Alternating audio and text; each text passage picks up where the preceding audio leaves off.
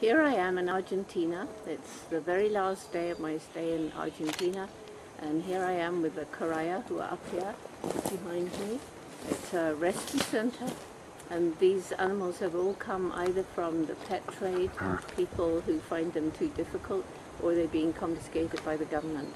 And eventually some of them will, will be able to go back to their proper habitat in the, in the jungle with indigenous people. But it's a great place and uh, I wish we had longer to be here. and there's a lot of dogs rescued, and there are donkeys, and there are geese, and there are, um, well, all kinds of creatures have found haven here. This little guy, Floppy, only wants his fir cone thrown. Uh, here in Argentina, amazingly, is Federico and of course Susana.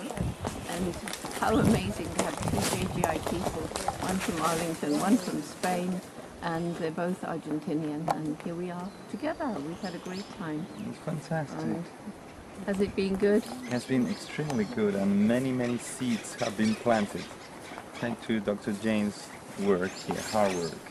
So we thank you for coming to Argentina and I'm sure that everybody around here are very, very happy She had a, a great welcome, and uh, Dr. Blair had a great welcome in Argentina. So we're very happy that she's here, and uh, people receive the message of hope. And I think that will be back soon with lots of roots and shoots planted here.